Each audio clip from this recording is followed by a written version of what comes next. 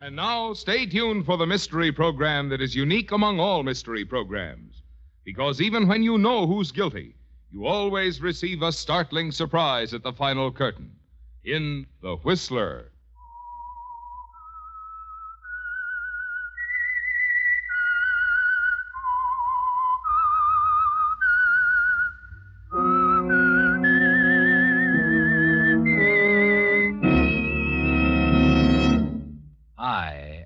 Whistler, and I know many things, for I walk by night. I know many strange tales hidden in the hearts of men and women who have stepped into the shadows. Yes, I know the nameless terrors of which they dare not speak.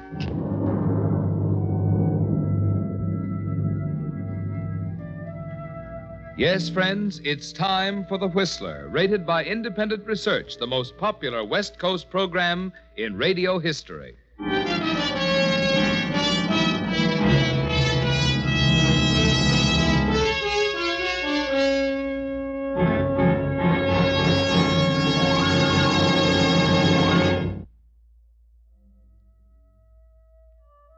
now, The Whistler's strange story.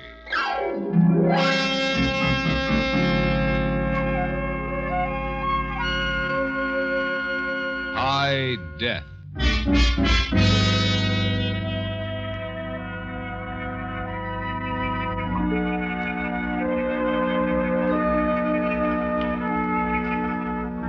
Are strange paradoxes in the night.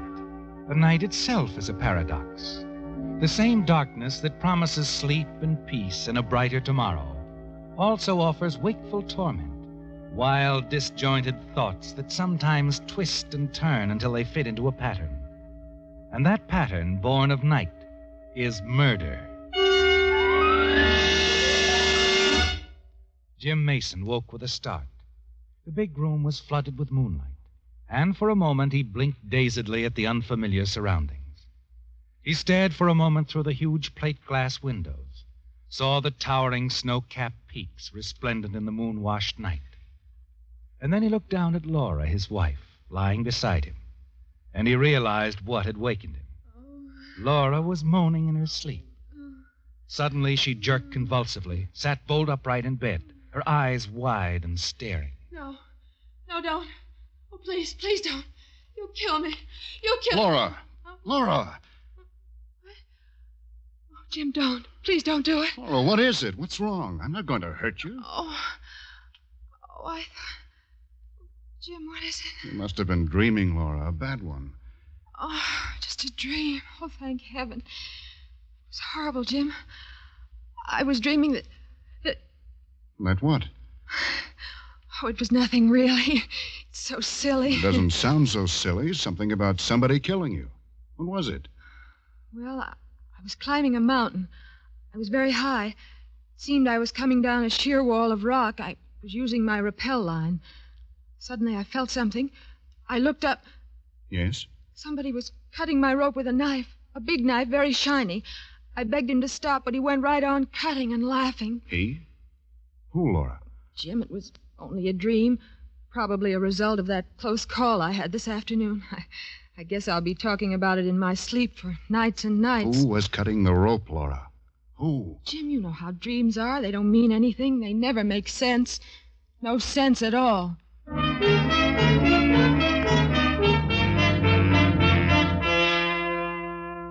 Just a bad dream, Jim. You don't dare look for an explanation, do you? Because, as Laura says, dreams never make sense. But you're not quite sure, are you? Long after Laura goes back to sleep, you lie there, your mind reliving the past few days. The events that brought you here to this remote Swiss valley, to the sharp gabled and sprawling inn of Herr Schmidt that you told Laura and your close friends who are with you, Mona and Peter, so much about. Willkommen, willkommen, Herr Jim. So long it is, yeah. Uh, Three years. And so well you look. Herr Schmidt, how are you? Oh, uh, this is your wife? Yes, this is Laura. Willkommen, Frau Mason. Thank you. You two and your friends are going to climb? Uh, that is good. Your your father, he, he did not come, Herr Jim. No, he did not come. I'm sorry. I am so happy when I get your letter. Right away, I take it down to the village to Stefan. So he is happy too. Stefan?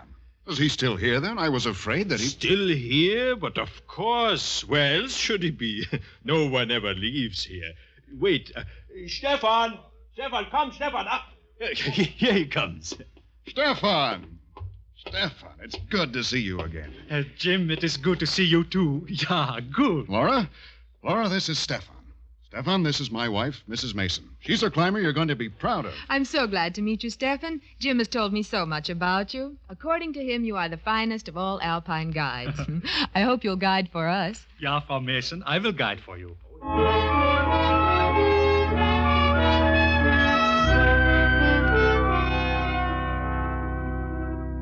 A heartwarming reception, isn't it, Jim? Good talk and laughter, with nothing to foreshadow the dark tragedy that is to come. Just four very alive young people on a holiday. Your wife, Laura, yourself, and your two friends, Mona Williams and Peter Bennett. After a short visit, Herr Schmidt shows Mona to a room, Peter to his, and takes you and Laura to the room at the end of the hall. When you and Laura are alone, you turn to her. Well, what do you think of it, Laura? Was I exaggerating? No, you weren't. I love it, Jim. Everything. That enormous window, it's terrific. Or rather, the panorama's terrific. Yeah. Look at those mountains. From here, they look so smooth and soft, but up there close, they're ridges, crags, ledges, ice walls. And that big gray dome there to the right, see it? Mm-hmm. I see it. They call it Gray Cloud. Dad and I almost made it to the top, but a sudden storm licked us. You never know when a storm will hit up here, but when it does, it means trouble. Real trouble.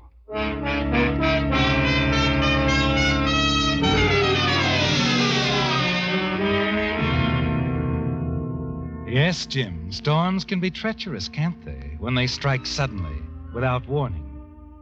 But there's no storm on the horizon now that you can see.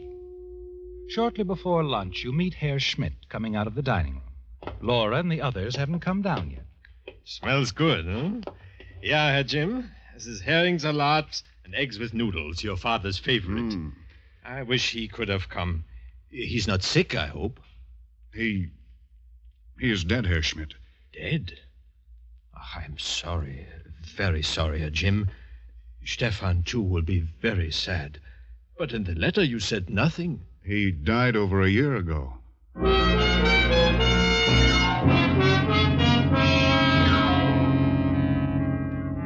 You leave Herr Schmidt clucking sadly to himself and step out onto the terrace, stroll to the rear of the inn, and stop suddenly.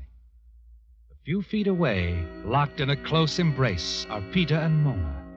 At that moment, Mona's eyes open and she stares straight into yours. And the storm you could not see strikes with full fury within you. You swing around and stalk back into the inn. After lunch, the four of you decide on a walk. You and Mona find yourselves paired off, with Peter and Laura, your wife, up the path, talking and laughing. It's utterly beautiful, Jim. Jim? What is it, Jim? Out there on the terrace, his kissing you. I thought that was all settled. Certainly, a, a man has a perfect right to kiss the girl he's engaged to. I can't give you up. I can't. But you did.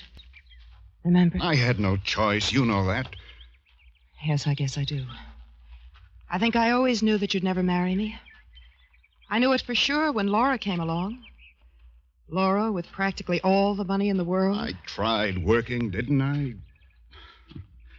Didn't take long for me to find out I knew a lot more about spending money than making it. Well, that was something, anyway. I never even knew about spending it.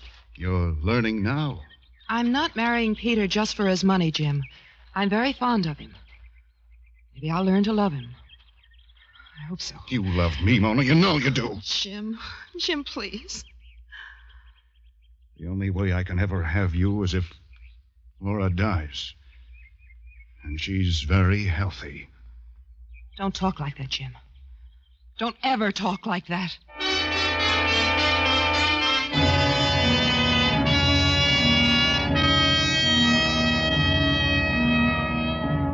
You stalk along in sullen silence, Jim, too torn and furious to speak. and the path grows steeper. When you and Mona catch up with Laura and Peter, you find that they're on an open, scrubby slab of rock that hangs out over a sheer drop of at least 300 feet. Below, there's a jumble of rocks. Beyond that stretches the Green Valley, cut by a river winding serenely on its way. Jim, Mona, it's simply lovely view. Come see. It is lovely. Look, you can see the inn. Dad and I used to walk up here just to smoke and talk. Oh, careful, that's a pretty steep drop. If you ever fell, they need a vacuum cleaner to find you. Laura, what are you doing? Come back off that ledge. That ledge. beautiful flower. I'm going to get it. She shouldn't be out on that narrow ledge, or she should slip. Laura, come back. Nothing at all. I'll have it in a minute. Jim. Laura! You move quickly, Jim. In an instant, you're out on the small ledge that protrudes no more than a foot on the face of the wall. A section of it had crumbled under Laura's weight. You advance as far as you can, praying that the narrow ledge will hold. You carefully go down on one knee and jam your elbow into a crack for support. Laura, I'm going to reach out my hand. Grip it with your right hand. Then with both hands. I'm going to pull you up slowly till you can find a toehold. Now, grab. Oh, that was close. That was too close. Thank goodness you can move that fast, Jim. I, I was paralyzed myself. Laura, are you all right? Are you, Laura? Oh, yes, yes, I'm quite all right. I'm so sorry. I shouldn't have. I guess I just didn't think. Oh, Jim, darling, if it hadn't been for you, I'd be dead now.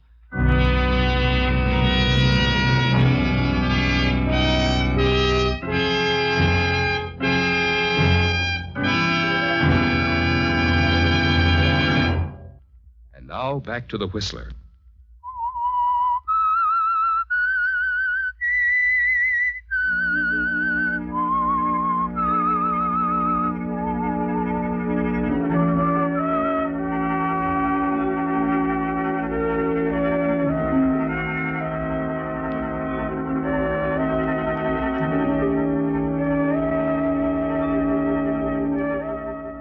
You lie there in bed, Jim, in the dead of night, wide awake, recalling today's strange chain of events. Your return to the High Valley in the Swiss Alps with your wife Laura and your friends Mona Williams and Peter Bennett. The maddening sight of Mona in Peter's arms. Laura's possible fall from the rocky ledge. The fall that would have been fatal, Jim, had you not pulled your wife to safety. The irony of the situation twists within you. If Laura had fallen to her death, you'd have her money and Mona. It could have happened so simply, Jim. Yet you stepped into the breach, saved your wife's life, and in that instant, widened the gap between yourself and the two things you want most Laura's money and Mona. That evening, the four of you were seated in the bar of the inn, toasting Laura's good fortune. And I always thought that when a person was on the brink of death, his whole life flashed before him. Oh, and it doesn't? Oh, no, Peter. All I could think of was darn that flower. Then suddenly there was Jim's beautiful face and his even more beautiful arm hauling me up. We were just lucky the rest of that ledge didn't collapse. Even when it was all over, I was still holding my thumbs. Well, I can joke about it now, but I was terribly frightened. I wonder if you'll ever know how grateful I am, darling. Sure, Laura. I know. Well, as the Chinese say, Jim, once you save a life, that life is yours to look after for as long as you live. See what you got yourself into, darling? Oh, cut it out. Okay, I was a hero. I saved you. Now forget it. Why, I say, Jim. Jim. Well, I, I'm sorry. I didn't mean that. It's just that. I guess I'm a little jittery. Delayed reaction or something like that. I know, darling. Um, Laura, how about this dance? It's a shame to let music like this go to waste. All right, Peter. Excuse us? Hmm, Sure, Laura. Jim and I will sit this one out. All right, Mona. All right, say something. Don't just stare. You know why I blew up. I do. Yes. You're thinking he wishes he hadn't been quite so fast getting down to that ledge to Laura. He wishes. Jim, that's not true. But it is true. That's just what I was thinking.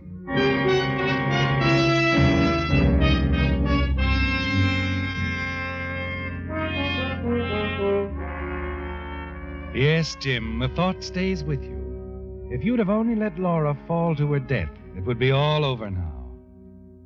You look down at Laura now, sleeping soundly at your side, her nightmare over and done with. And you wonder if she suspects, if that's why she dreamed that someone was trying to kill her. She didn't say it was you, did she, Jim? But you know it was you in her dream. Early the next morning, you arise without waking Laura. Go down to breakfast. Stefan comes in as you finish, and the two of you go to the storeroom to look over and choose the equipment that you will need for your climb. Shoo, smells like mothballs and oil. Yeah. Herr Schmidt takes good care of his equipment. Well, he's got enough here to start a sporting goods store. There's plenty of everything here. Yeah? Uh, you will need crampons, pitons, hammers, rucksacks, water flasks, and rope. Yeah, yeah, rope. Yeah, we couldn't do without the rope, could we, Stefan? Nein, we could not do without the rope. To a climber, it is often the difference between life and death.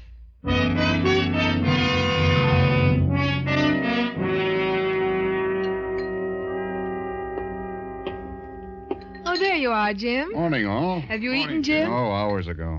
Be sociable anyway. Sit down to a cup of coffee. Well, I can do with a cup at that. Stefan thinks a climb to the upper ridges of the Gray Cloud would be a good climb. We won't try for the top, of course. That would be a little too rugged. Gray cloud. Sounds sort of ominous. Yeah, it's, it's not too tricky, though, Jim. I mean, after all, the girls, uh, Mona especially, hasn't done too much climbing. I resent that, Mr. Bennett. I'll have you know I'm very good. Oh, Laura, Jim, I've got wonderful news. Mona's broken down and agreed to set our wedding date for early summer. Oh, that is And- wonderful. I'm so glad. And I was thinking, Jim, I have no brothers or anything like that, and, well, you are our best friend. Will you. Will you be my best man? What? Oh, Jim. Did it get on your trousers? Here, take my No, no, no, napkin. it's nothing. Nothing at all. Clumsy of me. You're not getting stage fright already, are you, Jim? No, no, it's just that I. Well, I certainly made a mess of this tablecloth. Well, what do you say, Jim? Okay? Hmm? Well, I don't know what to say, Pete. Look, there's no one I'd rather have. Mona, too, I know. Mona, you ask him in your most irresistible way, please. Yes. Yes, of course, Jim. I think that would be very, very nice. You want to leap to your feet, scream that Mona belongs to you, smash everything on the table, don't you, Jim? But you don't. No, you just sit there, your eyes locked for a moment with Mona's. Go to Peter Bennett. But you don't dare look at Laura, do you, Jim? You're afraid of what she might see in your eyes. All the hate and resentment you feel for her. And you know now what you must do. After breakfast, you hurry to the storeroom. You study the four coils of rappel rope, select the darkest of the four, and go to work. You work slowly and with infinite care. Finally, it's done. You smile. It looks like an extremely stout rope, doesn't it, Jim? Yes. But the full weight of a body, even a body as small and as light as Laura's, would snap it. Darker than the other three coils, it will be a simple matter to make certain that Laura gets this rope. By late the next afternoon, your party is past the timber line. Stefan, who is leading, shouts, points to an arm. The hut is in sight. Small stone shelter built by the Swiss Alpine Club for use for the climbers. In a short time, you're there. We will camp here tonight. It's about time. Softy, I'm as fresh as a daisy. How about you, Laura? I'm fine. Be glad to get these shoes oh. off, though. And the only thing that hurts on me is my stomach. Let's rustle up some food.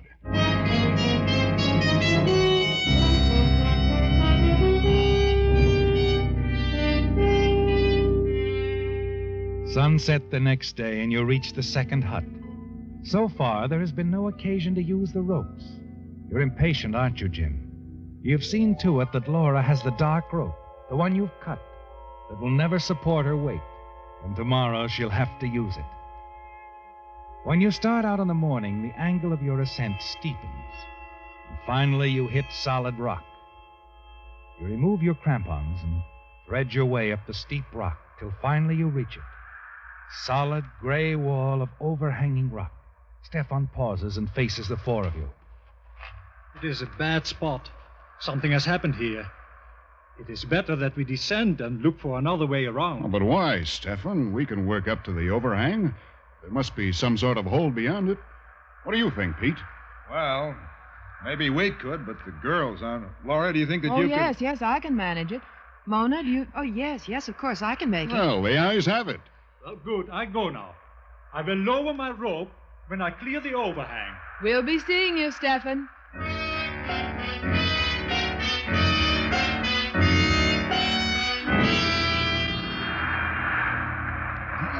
Your hand, Herr Jim.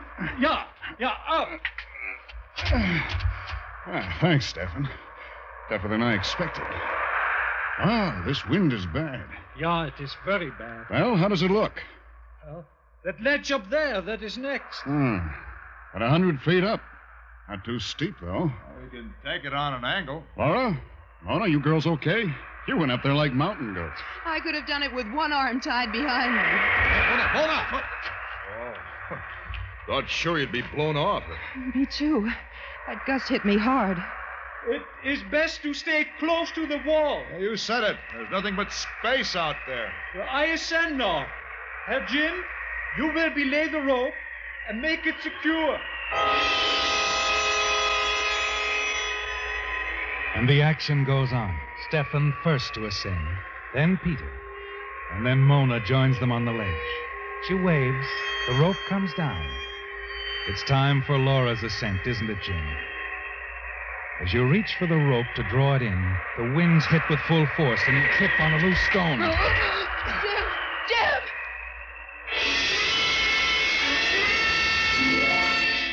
Your clawing fingers fasten onto the lip of the ledge. You're torn loose, rake down the side of the wall, and claw about a nub. And hold. And there you cling, transfixed. Below you, there is nothing but death. Sweat pours into your eyes. Your blood is a roar in your ears, and you go weak. Manage to look up, and Laura's stricken face peering over the edge. Jim! Jim, thank goodness. Hold on, Jim. Hold on. We'll lower a rope. Lock it around your wrist and arm. I'll belay it. Stefan is on his way down. Hold on. Hang on, Jim!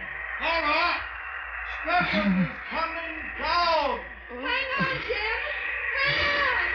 Jim, here it comes. My rope. Take it, Jim. No! No, Laura. I can't. I can't. Oh, Stefan. Hurry, hurry. Please, please, Jim, take my rope. Take my rope. No, it won't.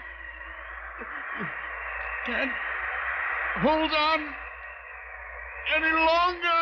Jim!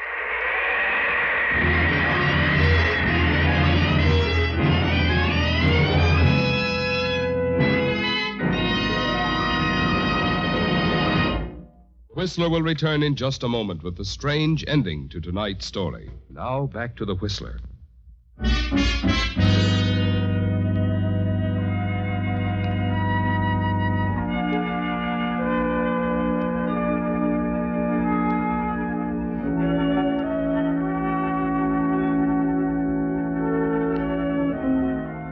The climbing party makes its descent slowly, silently. Stefan guiding Laura's every mechanical move. She's in a bad state of shock, moves like an automaton. Peter follows behind with Mona, the anguish of the experience written in their faces. Finally, they reach the Alpine hut, put Laura to bed, and after a while, she falls into a deep, exhausted sleep, and her three companions take up a vigil by her bed. Suddenly, the deadly silence of the room is broken. Jim, Jim, Stefan, is she all right? It's bad. Very bad. She dreams.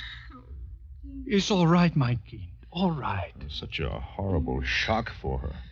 So much to bear. Jim, Jim, you must. Jim, Jim? Oh, you, Stefan. It was a dream, wasn't it? All it.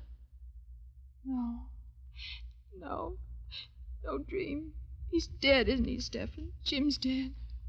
Yeah. Herr Jim is dead. Stefan, why didn't he take the rope? Why? He could have been saved. Why? Why? If it is as you say, Frau Mason, I, I do not know why. I do not understand. You are sure that this is so? Yes, yes, he wouldn't take my rope. He tried to say something and then he fell. Why, Stefan, why? We could have saved him. Yeah, your rope would have saved him. I do not know why he would not take it. He seemed afraid. Yes, that's it. It was like he was afraid of my rope. I do not know why. It, it was a good rope. All the ropes are good. The night before we left, I go over them all carefully. Ah, and a good thing that I do. One of the ropes I took between my hands and poof, it snapped. So I replace it with a dark one, the one that you carried, Frau Mason. It was a very good rope. It would have held three such men as Herr Jim.